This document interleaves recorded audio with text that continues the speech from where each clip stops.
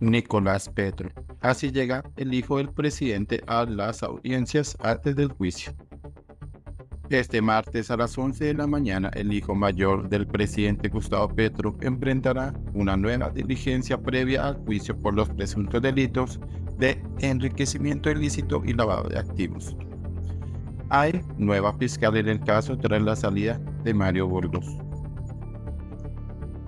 Este martes 10 de septiembre a las 11 de la mañana continúan las audiencias preparatorias antes del juicio que debe enfrentar Nicolás Petro Burgos hijo mayor del presidente Gustavo Petro, por los presuntos delitos de enriquecimiento ilícito y lavado de activos. Durante estas diligencias ante el juzgado segundo penal del circuito especializado de Barranquilla, se seguirán destapando las pruebas que serán debatidas en la etapa de juicio. Luego de varios aplazamientos, la Fiscalía intentará demostrar que el hijo del presidente habría incrementado su patrimonio de manera injustificada en más de mil millones y a su vez habría intentado blanquear cientos de millones de pesos a través de la compra de propiedades. De hecho, las investigaciones del ente acusador arrojan que parte de ese dinero habría sido entregado al hijo del primer mandatario por parte del ex narcotraficante Samuel Santander López Sierra, el hombre Malboro, y del polémico empresario Alfonso Ilzaca, conocido como el Turco con el objetivo de que llegara la campaña de su padre, Gustavo Petro, en 2022. No obstante, Petro Burgos se habría quedado con el dinero. Tanto él como su ex esposa, Daisuris Vázquez, han hecho énfasis en que el entonces candidato no sabía del dinero ni de su origen.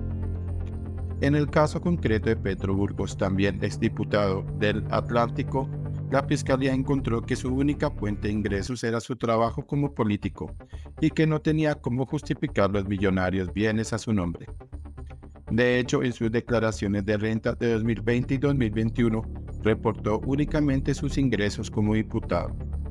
No reportó tener obligaciones financieras ni ser partícipe en sociedades o tener actividades económicas de carácter privado. A pesar de esto, el ente investigador le habría pescado lujos que no tenía cómo justificar. Otro detalle no menor que llega antes de la audiencia es la presencia de la nueva fiscal del caso, Lucy Marcela Laborde.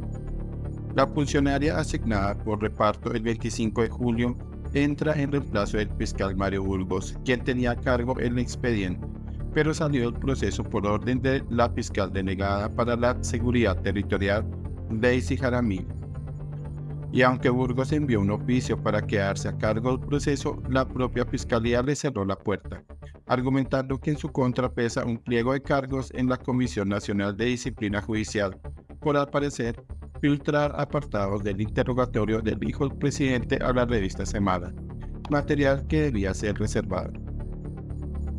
Días previos a la reanudación de las audiencias preparatorias, la ex esposa del exdiputado Day Vázquez, quien también enfrenta un juicio por el delito de violación de datos personales, luego de supuestamente espiar las comunicaciones de la actual pareja de Petro Burgos, Laura Ojeda, publicó un mensaje en la red social X haciendo énfasis a otros dineros presuntamente recibidos por el hijo del presidente. Pero ya es hora de que Nicolás Petro cuente la otra millonada que recibió y que aún no se ha hablado de ello sobre todo de personajes del departamento, señala Vázquez en su cuenta. La siguiente audiencia será el miércoles 11 de septiembre. Todo está por verse en el nuevo capítulo de este escenario judicial.